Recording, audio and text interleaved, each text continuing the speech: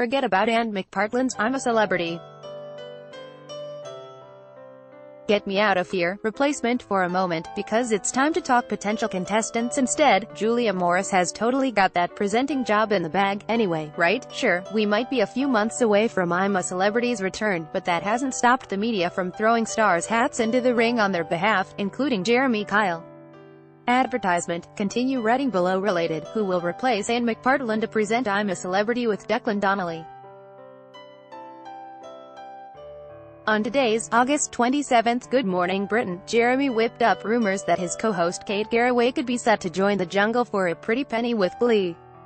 Well, guest and former I'm a Celebrity contestant Jack Maynard told her to go for it, and Jazza seemed keen on the idea himself. Kate was more concerned about where the rumor had even started in the first place, blaming it on her co-host.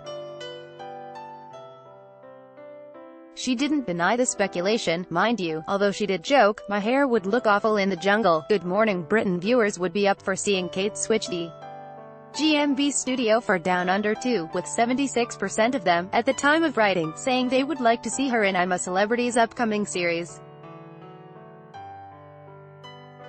And here's what Kate thinks of that poll. Meanwhile over in Oz, co-presenter of the Australian I'm a Celeb Julia Morris has admitted that she would take the role of filling in for Ant McPartlin in a heartbeat, if asked.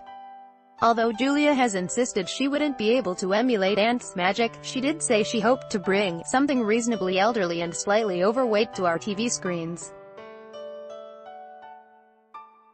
Good Morning Britain airs on weekdays from 6 a.m. on ITV. Want up-to-the-minute entertainment news and features? Just hit like on our Digital Spy Facebook page and follow on our Digital Spy Instagram and Twitter account.